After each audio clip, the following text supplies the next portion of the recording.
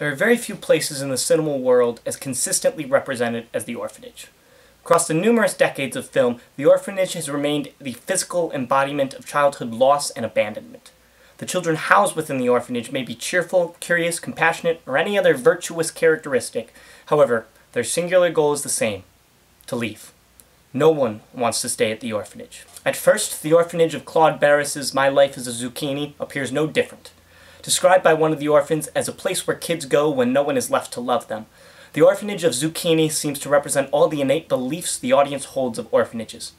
They are lonely, they are cold, they are a place you sleep, but never your home. The story of My Life as a Zucchini follows a young orphan named Icare, who prefers to be called Zucchini after his mother dies.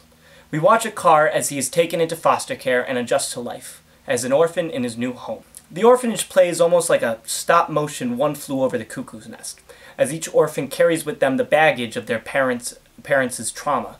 One boy eats toothpaste after his mentally ill mother told him it would clean his insides. One girl runs outside at the sound of any car arriving, calling for her mother, who is deported by the government.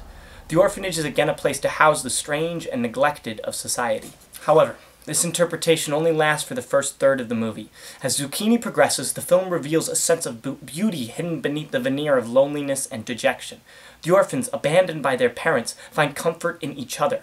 The strange ailments brought on by the loss of their parents are then celebrated by their fellow children. What on the surface appears to be a problem or a scar meant to be hidden away is revealed to be a quality worth promoting. This is what makes My Life as a Zucchini a film worth watching. The movie subverts expectations by taking surface value assumptions and replacing them with qualities residing within. An orphanage is no longer the foreboding child prison, but rather an escape from a traumatic past. The classic childhood bully becomes a dejected child seeking any compassion. The bombastic stop-motion formula is used to tell a smaller, intimate story.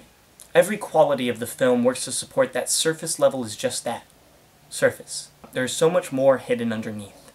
At 70 minutes, the film doesn't waste any time developing unnecessary plot lines and convoluted backstories. The film has a message to tell and uses every minute to tell it.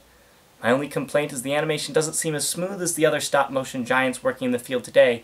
However, the intimacy with which Zucchini tells its story makes this film well worth your time.